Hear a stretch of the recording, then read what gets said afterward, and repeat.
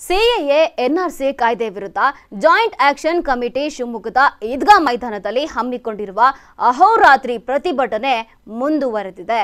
Muslim ಸಂಘಟನೆಗಳ ಜೊತೆಗೆ ನಾನಾ ಸಂಘಟನೆಗಳ ಕಾರ್ಯಕರ್ತರು ಇಂದು ಪ್ರತಿಭಟನೆಯಲ್ಲಿ ಪಾಲ್ಗೊಂಡಿದ್ದರು. ಕೇಂದ್ರ ಹಾಗೂ ಪ್ರಧಾನಿ ಮೋದಿ ವಿರುದ್ಧ ಘೋಷಣೆ ಕೂಗಿ ಕಾಯ್ದೆಗಳನ್ನು ಹಿಂಪಡೆಯುವಂತೆ ಒತ್ತಾಯಿಸಿದ್ರು.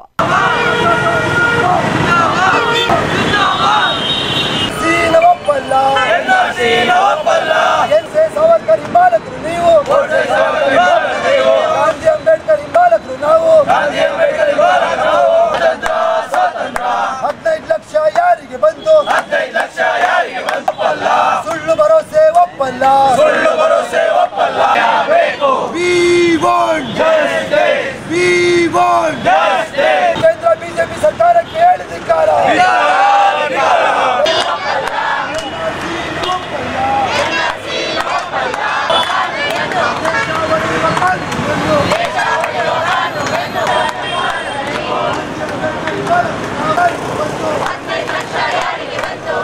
ಭೇಟಿ ಪಡಾವ್ ಅಂತ ನಮ್ಮ ಮೋದಿಜಿಯವರು ಹೇಳ್ತಾ ಇದ್ದಾರೆ.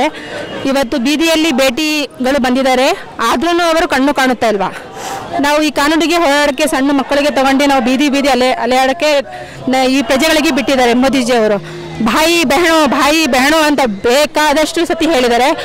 ಇವತ್ತು ಬಾಯಿನೂ ಹೊರಗೆ ಬಂದಿದ್ದಾರೆ, ಬೆಹಣನೂ ಹೊರಗೆ ಬಂದಿದ್ದಾರೆ. ಇವತ್ತು ಬಾಯಿನೂ ಯಾರು ಅವರ ಹೇಳಿದ ಮಾತುಗಳು ಕೇಳಲ್ಲ, ಮತ್ತು ಬೆಹನಗಳನ್ನು ಕೇಳುವುದಿಲ್ಲ. ಅವರು ನಮ್ಮ ಪ್ರಧಾನಮಂತ್ರಿ ಅಂತ.